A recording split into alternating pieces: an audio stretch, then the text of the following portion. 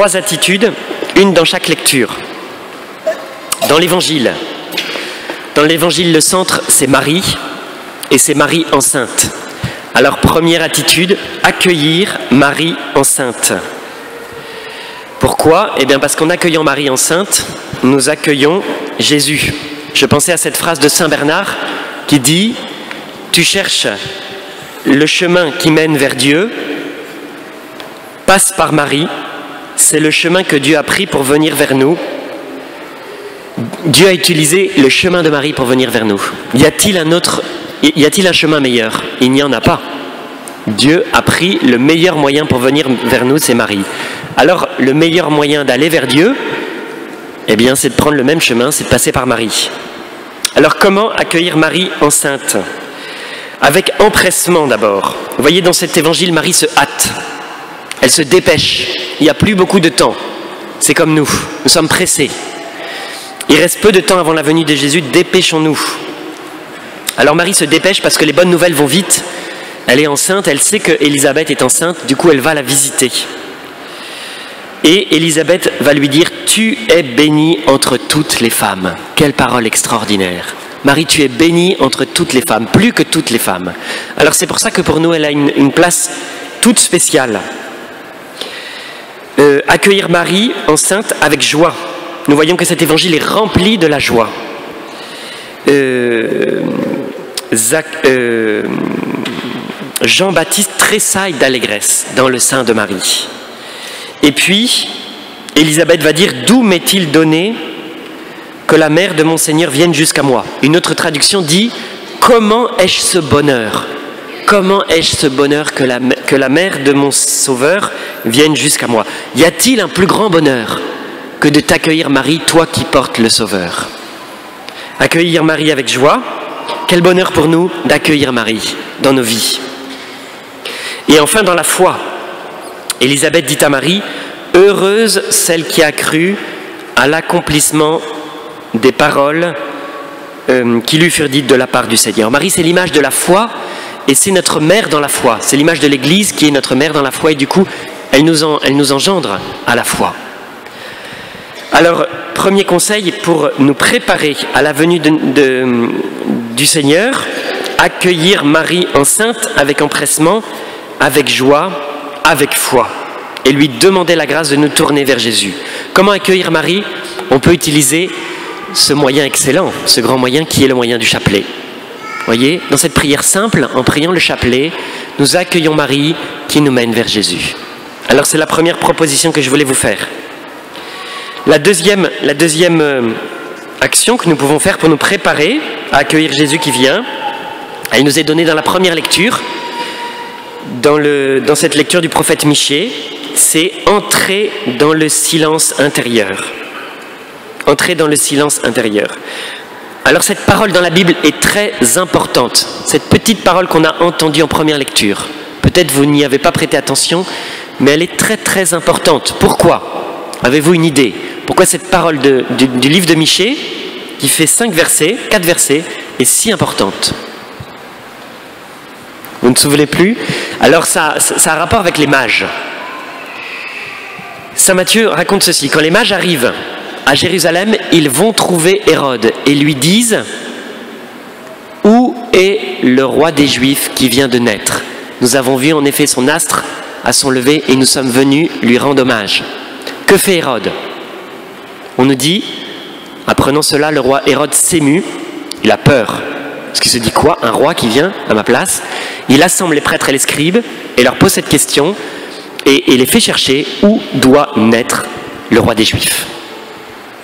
Que lui répondent ces spécialistes À Bethléem, en Juda, parce qu'il est écrit dans le prophète Michée, et toi Bethléem, tu n'es nullement, le plus petit des clans de Juda, parce que de toi sortira un chef qui sera pasteur de mon peuple Israël. C'est-à-dire que cite-t-il cette parole que nous venons d'entendre quand les mages arrivent et disent où doit naître le, roi des Juifs, quand Hérode fait chercher les, spécialistes, ils disent Nous avons la réponse, elle vient du prophète Michée. Le prophète Michée nous dit C'est à Bethléem que ça doit se passer. Alors par cette petite parole, nous savons que le roi, que le Messie va naître à Bethléem. Alors pourquoi Bethléem? On nous dit Bethléem Ephrata. Ephrata, ça veut dire la féconde. Vous voyez, donc déjà, on a une idée qu'elle va donner la vie, qu'elle va donner la vie à quelqu'un qui sera important. Et puis la parole dit, tu n'es pas, tu, tu es petite, tu es le plus petit des clans de Judas. Pourquoi est-ce qu'on nous dit ça? Parce que Bethléem la petite s'oppose à Jérusalem l'orgueilleuse, la grande. Ça nous dit que le Messie doit venir de façon discrète, dans une petite ville qui est Bethléem. Euh, il doit aussi, Bethléem c'est la ville de David. Euh, le Messie est un descendant de David. Qui est le père de David? Vous vous souvenez? Jessé. Où habite Jessé À Bethléem. Et donc Bethléem, c'est la ville de David. Jessé avait huit fils, et le plus petit, c'est David. Vous savez, quand le prophète Samuel va trouver Jessé, il sait qu'un des fils de, un des fils de Jessé va être choisi. Il pense que c'est le plus important, et puis il les fait tous passer jusqu'au dernier, qui est le roi David. Voilà. Alors, c'est pour ça que, euh, deuxième raison, première raison, Bethléem est petite par rapport à Jérusalem, qui est grande. Bethléem est cachée. Deuxième raison, Bethléem est la ville de David, et le Messie est un fils de David. Enfin, euh, la naissance du coup du, Messie sera si discrète qu'on oubliera qu'il est né à Bethléem. En Saint Jean, il y aura une polémique sur Jésus. On dira, mais cet homme est-il le Messie? Il vient de Galilée, alors que les prophètes doivent venir de Judée. Il vient de Nazareth.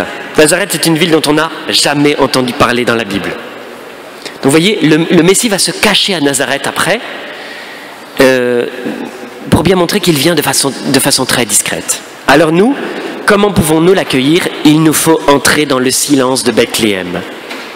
Entrer dans le silence de la crèche, entrer dans le silence de Bethléem pour accueillir la naissance discrète de Jésus. Si nous ne sommes pas dans le silence intérieur, qu'est-ce qui va se passer Nous allons le rater. Lui qui vient dans le silence, nous allons le rater. Nous allons être pris dans les bruits du monde et nous allons le rater. Il y a quelques jours, j'ai été visiter un vieux prêtre, 88 ans je crois, qui a été chartreux toute sa vie, dans les trois chartreuses qui y a en France. L'ordre des chartreuses, c'est l'ordre le plus silencieux qui existe. Ils ont une petite maison dans le monastère, chaque moine a une petite maison, et ils vivent dans le silence. Ils travaillent dans leur maison, ils prient dans, leur maison. Alors ce, vieux, ce vieux prêtre, il m'a dit deux choses. Il répétait toujours une phrase qui était Qu'est-ce que c'est beau tout ça? Qu'est-ce que c'est beau tout ça? Il répétait ça sans cesse. Je me suis dit, c'est incroyable. C'est comme s'il était dans l'émerveillement de ce que Dieu a fait. Souvent, nous, on voit à la télé le contraire, on voit toutes les mauvaises choses. Et lui n'arrêtait pas de dire Qu'est-ce que c'est beau tout ça Qu'est-ce que c'est beau ce que, ce que le Seigneur a fait Et puis la deuxième chose, il m'a dit Je suis heureux. Il était dans une maison de retraite là. Il m'a dit Je suis heureux parce que je progresse. Je progresse. Toute ma vie, j'ai progressé. Je me suis dit, sur quoi il a progressé Et il m'a dit, je progresse dans le silence. je me suis dit, ça, c'est étonnant. Et il m'a dit, Dieu m'a mis dans le silence parce que dans le bruit, ma, vie se serait perdue. Il m'a mis à part, il m'a mis dans le silence, et là, je progresse. Alors la grâce qu'on peut demander, deuxième, chose, c'est de progresser dans le silence. Nous tous, on a besoin du silence. Hein. Dieu vient dans le silence. Alors c'est la grâce qu'on peut lui demander, la grâce d'entrer dans le silence de Bethléem.